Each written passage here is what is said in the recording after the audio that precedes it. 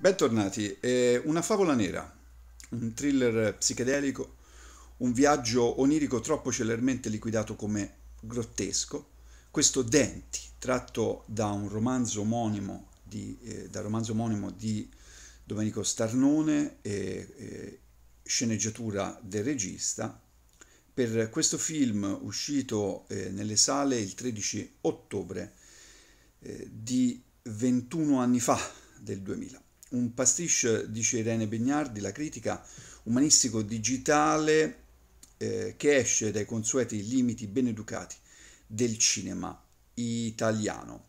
Andiamo subito alla trama. Antonio, docente quarantenne di filosofia, nevrotico e non finito, ha sempre avuto problemi con i suoi draculei incisivi e fin da piccolo ha provato a disfarsene anche in modo violento.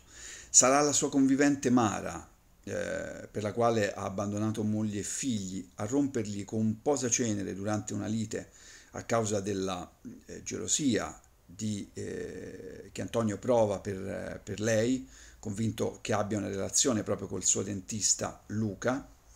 Eh, Antonio inizia così un'odissea odontoiatrica, sempre eh, definizione della Bignardi, da un dentista all'altro per farsi sostituire gli incisivi scoprendo che dentro le sue gengive sanguinanti esiste molto di più, forse una terza dentizione, cioè una nuova identità. Non è mai troppo tardi per cambiare. Un film che nel trailer recita perché il passato sta tornando, cosa vuole da me? Domanda che ci siamo posti tutti, eppure più volte, e a più età della nostra vita. Quindi è chiaro che anche se il film non è stato realizzato per compiacere le più larghe platee, a tre anni dal suo maggior successo economico, eh, Nirvana, anche se magari Salvatore voleva aprire certe tematiche anche al grande pubblico, tratta un argomento, il passato, che risorge come uno zombie psichedelico fra i neuroni della nostra mente, un messaggio che ci riguarda tutti che rapporto c'è fra l'identità psicologica e la nostra corporeità? L'anima nei denti. Esiste una memoria stomatologica?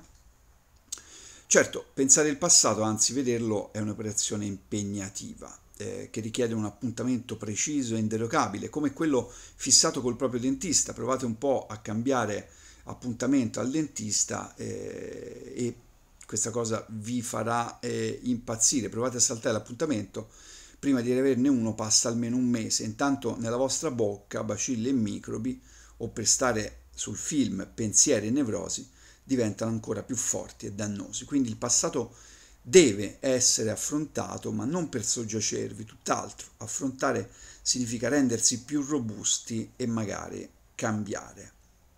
Cambiare, magari. Eh, Salvatore è stato il primo anche a farci avere un'altra idea cinematografica di, del, della figura del dentista.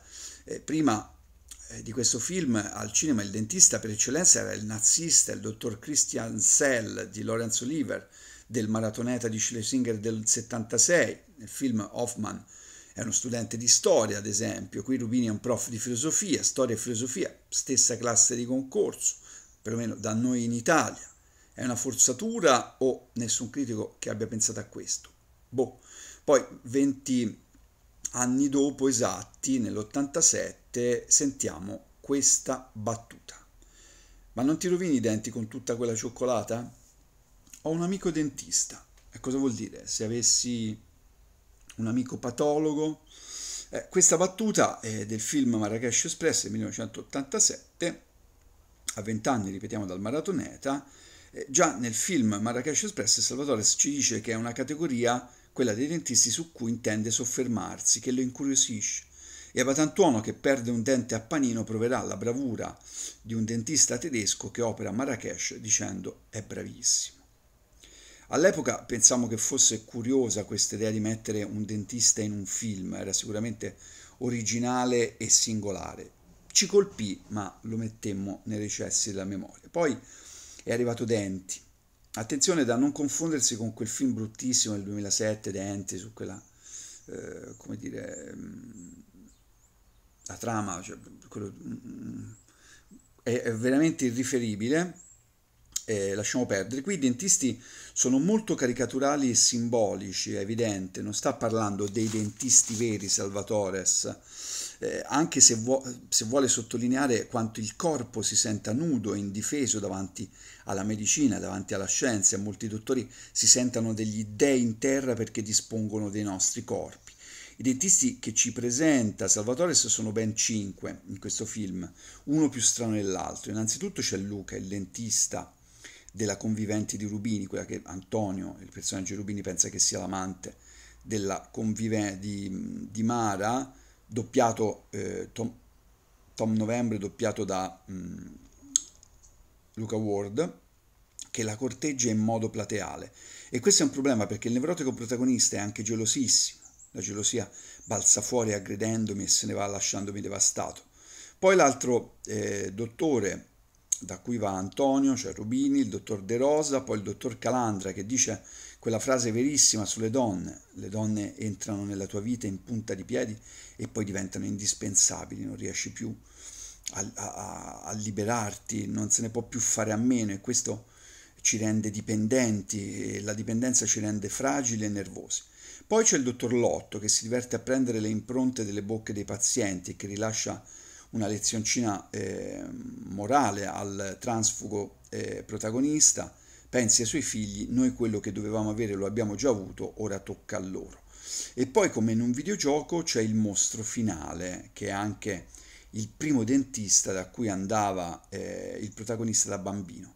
Il dottor Cagnano, un monumentale Paolo Villaggio, defantozzato fin- finalmente, senza maschera, senza infingimenti, che sembra essere un cialtrone, ma in realtà più che dentista è un vero sciamano che opera nella cucina di casa sua, sciamano con strega al seguito, interpretata da, God, da Angela Godwin, che voi ricorderete come eh, tragica moglie eh, del Perozzi, di Amici miei. Il personaggio di Rubini, non avendo avuto una figura maschile forte di riferimento e geloso e insicuro come il padre, eh, padre che gli appare per, addirittura per chiedergli se la, se la madre mh, lo ha mai amato ed essendo affetto da un evidente complesso edipico, le scene con la madre sono alcune poetiche, altre ironiche, come quando la madre gli, non sa dargli una risposta, ma gli, sa, gli può offrire una fetta di torta, ma trova anche il coraggio con l'aiuto delle donne, perché nell'ottica del film, ripetiamo, sono le donne a dannare e a salvare contemporaneamente.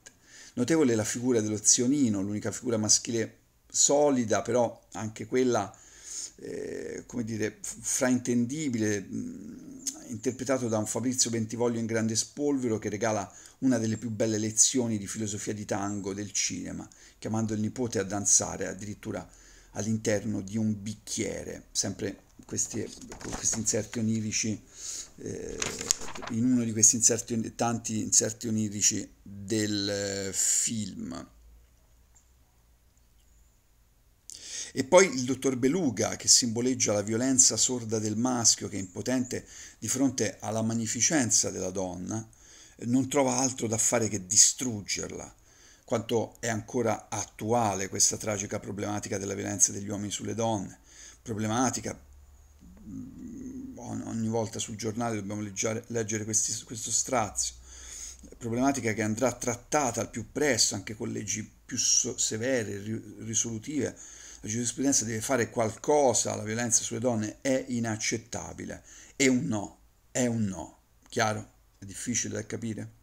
Salvatore ci presenta anche un parterre di donne non indifferente, la ex moglie Cinzia, eh, interpretata da Alessandra Delia, che non riesce ad odiare il marito, nonostante eh, l'abbia lasciata e non gli passi i, mh, mm, i soldi per i figli, dove gli dice quella frase fortissima, te lo dovevi strappare il cuore. E, ma il protagonista è impazzito per questa Mara, è preso dalla passione per Mara, ben interpretata da una sensuale e comunque accudente Anita Caprioli. E poi tanti simbolismi femminili, tante donne streghe, fate, sirene, donne che non appena non vengono considerate scompaiono. Quante? L'attrice napoletana Olimpia Di Maio che parlava con la madre di Antonio, di quella strega che si era innamorata di suo figlio e lo aveva stregato. Quante madri pensano, madri di maschi, pensano questo delle nuore. La madre con accento francese di Anouk Grimbert, una madre che se n'è andata troppo presto quando Antonio, il protagonista, era tredicenne e forse responsabile, anzi quasi sicuramente, del suo blocco emotivo. Altro personaggio di cornice in sottofondo, ma importantissimo, è la location, una irriconoscibile Napoli periferica, che è anche luogo di nascita di Salvatore, fra l'altro poi trasferitosi a Milano, scientemente non cartolinesca, fatta di cortili che si aprono come scatole cinesi, mercati, ovvero suc del pesce, angoli adibiti a teche della santeria e di religioni animiste che convivono con ultracattoliche chiese barocche. Napoli come città onirica di ponte fra Oriente e Occidente. Possibili eh, punti deboli del film, non per noi, ma la critica lo ha trattato molto male, quasi infastidito abbiamo letto recensioni quasi infastidite per questo film, dove Salvatore è stato accusato di essere, come di, volare, di tentare di volare troppo alto, ma lui che è uno dei migliori registi che abbiamo in Italia, se non lo fa lui, ma chi? A parte che tutti devono osare. Eh, quindi quest, questa stroncatura della critica è un dato di fatto da cui non possiamo prescindere, fare film non allineati porta anche a questo, una sceneggiatura forse troppo frammentaria, ma anche lì buona parte del film è un otto e mezzo, è uno stream of consciousness con la voce off del protagonista che si fa domande importanti e non tutti sono disposti a sentirle, forse il fastidio della critica viene da qua, specie chi va al cinema per mero intrattenimento, come larga parte del pubblico, per carità de gustibus lungi da noi criticare non stiamo giudicando, stiamo semplicemente facendo una ricognizione delle eh, delle possibili motivazioni per cui che non fecero funzionare questo film nel 2000, ma un film è per sempre, magari non ha funzionato 21 anni fa, forse perché precorreva i tempi, magari può funzionare oggi. Altro punto debole cos'è? La, una trama esile tutta avviluppata sul protagonista? L'eccesso di viaggi onirici, ricordiamo che Salvatore è stato uno dei primi registi italiani a fare uso del digitale, eh, ma questi mh, viaggi onirici destabilizzano, eh, straniano troppo la narrazione per il come dire, per lo spettatore medio. Vabbè, casa di produzione Cecchigori Colorado Film, fotografia Italo Petriccione, montaggio eh, quasi da videoclip di Massimo Fiocchi, musiche generazionali Procularum di Purple e musiche New Age di Mara Redigherius Mamò e le altre realizzate quasi interamente a Lucca e al mio studio basement da Teo Teardo e Federico De Robertis. Effetti digitali di eh, comunque molto ben fatti eh, e suggestivi di Digitalia. Vabbè, credo che da questa recensione, da questa video recensione abbiate capito che quello che per molti sono punti deboli, per noi sono il bello del film.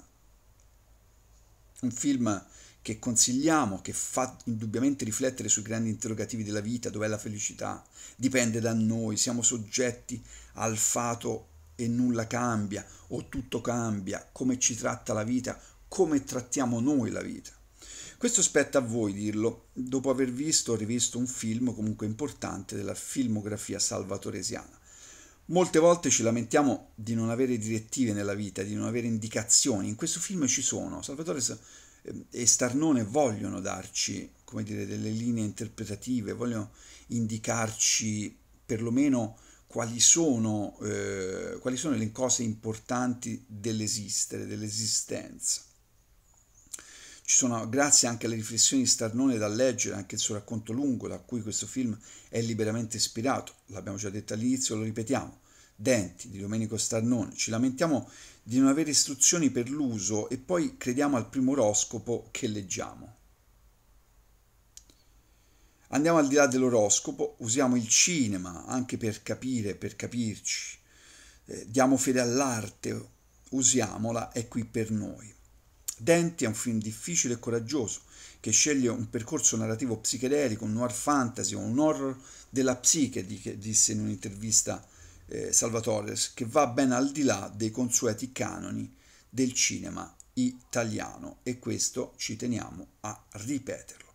Un film sul coraggio e la necessità di crescere e di entrare una volta per tutte nella zona dell'adultità. Recuperatelo o rivedetelo se l'avete già visto. Vi ricordiamo di leggere sempre eh, le informazioni in descrizione e se volete di iscrivervi a questo canale. Grazie, alla prossima.